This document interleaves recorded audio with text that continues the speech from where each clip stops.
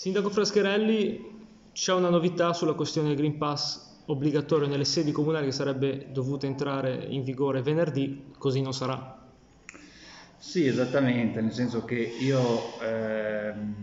ho adottato il provvedimento che conoscete qualche settimana fa ormai, in assenza di una disciplina in tal senso a livello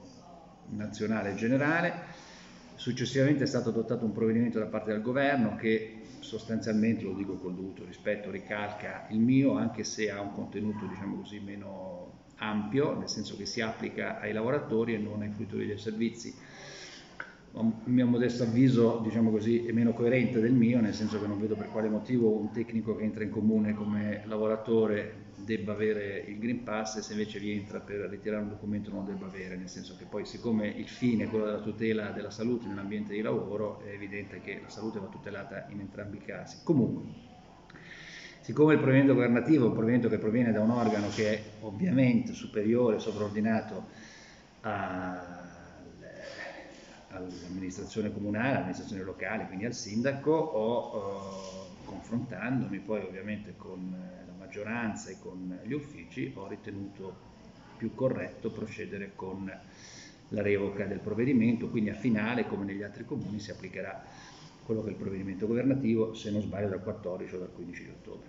Quindi si entrerà in comune, lo ricordiamo, eh, col Green Pass solo dai eh, lavoratori e le cariche elettive, chi non sì, lavoratori dipendenti del comune, chi in comune viene a, a, esercitare un servizio, comunque sempre, non so, l'impresa di pulizia per esempio, o anche, come dicevo prima, un tecnico libero professionista che dovesse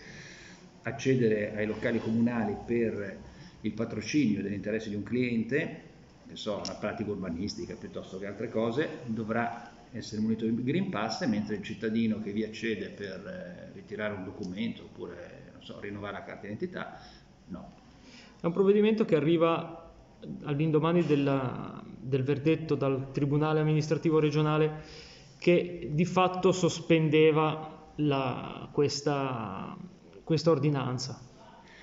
Allora, io del, del, diciamo, del, provvedimento del Tribunale amministrativo non so nulla, se me lo riferisce sarà sicuramente così, mi è stato riferito perché io poi eh, adottata l'ordinanza mi sono confrontato con eh, coloro i quali diciamo così, non erano d'accordo con il provvedimento stesso, come è giusto che sia, nel senso che poi io faccio il sindaco, sono sindaco di tutti e quindi ascolto anche chi non è d'accordo ovviamente con quello che faccio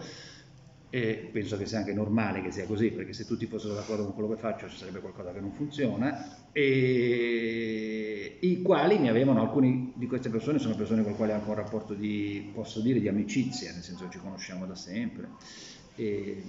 mi avevano preannunciato che avrebbero fatto un ricorso al Tribunale amministrativo. Ora, se le cose stanno come lei mi dice, immagino che il Tribunale amministrativo si sia pronunciato, come si dice in gergo, inaudita altera parte, cioè senza ascoltare le ragioni diciamo, della controparte, in questo caso dell'amministrazione comunale, quindi probabilmente, vista l'urgenza, perché il mio provvedimento entrerà in vigore venerdì, se non vado errato, lo ha sospeso, se le cose stanno come mi riferisce, perché al momento non ci,